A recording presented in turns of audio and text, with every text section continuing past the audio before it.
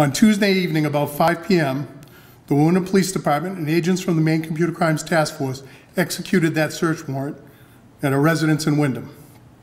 As a result, a 16-year-old male suspect was identified and subsequently arrested and charged with eight counts of Class C terrorizing, one for each of the school, schools that was evacuated as a result of the threat. The investigation has determined that the suspect is the author of both emails. Evidence was collected and continues to be evaluated. Some of the evidence collected indicates there was a potential for danger to students and staff. The suspect is a Windham resident, but he is not currently a student at RSU 14. That information I don't have. Um, I don't believe he was expelled. Was he in the high school or he was in the younger schools? Elementary, middle school, not sure about the high school. Okay.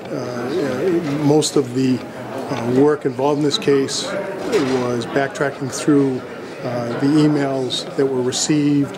Um, The suspect uh, obviously has some knowledge of the computer system because um, emails were uh, certainly uh, disguised and, and uh, he made efforts to hide the source of the email.